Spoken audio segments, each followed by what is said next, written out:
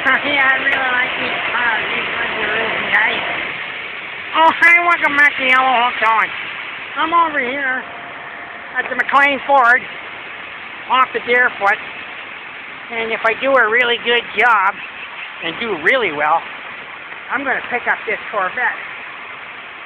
It's an 03. It's only 24 grand.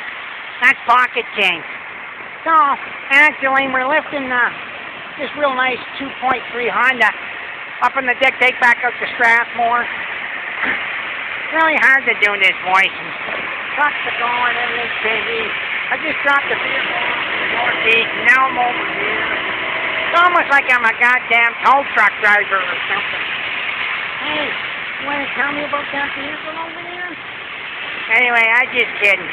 Remember, if you need a lift, you need a haul, you just give us a call. It's almost like 30 degrees here.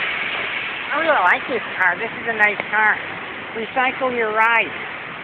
Anyway, look at the rims on it. Isn't that beautiful? I wouldn't be caught dead in that. That's my car right there. The Corvette. It's a chef. Anyway, I really gotta go.